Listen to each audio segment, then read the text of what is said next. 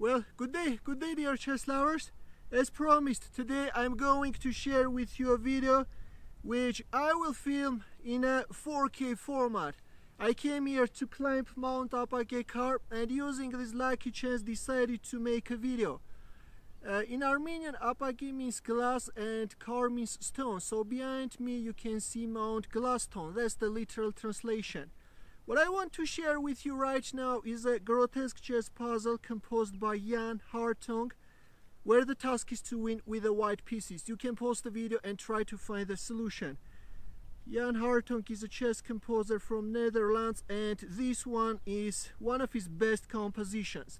So in order to win the game, White is hurrying with making use of his queenside pawns and is playing a4. Black is playing e4 and now in order to avoid stalemate, White is sacrificing his bishop on f6.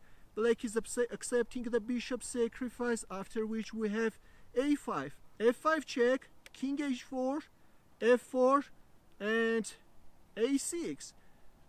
Now, although you can play e7, e7 is better actually. Let's go for e7, forcing black to move his king, after which we are announcing a discovered check in order not to allow a pawn promotion. King goes back on g1 and only now we are playing a6 in order to avoid stalemate.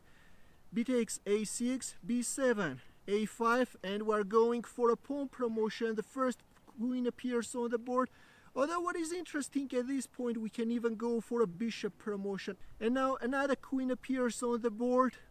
Here comes the a pawn and the pawn on f4 drops a2 and queen h5 after which black is going for a pawn promotion but just in here white is already announcing a checkmate. Queen h2 check g takes h2 and we have queen takes h2 checkmate.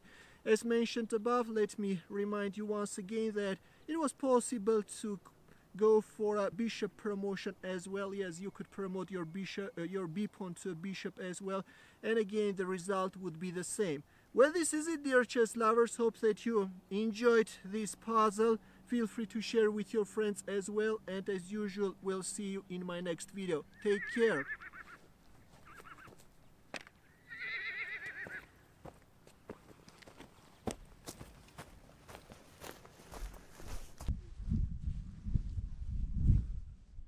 Hello, Knil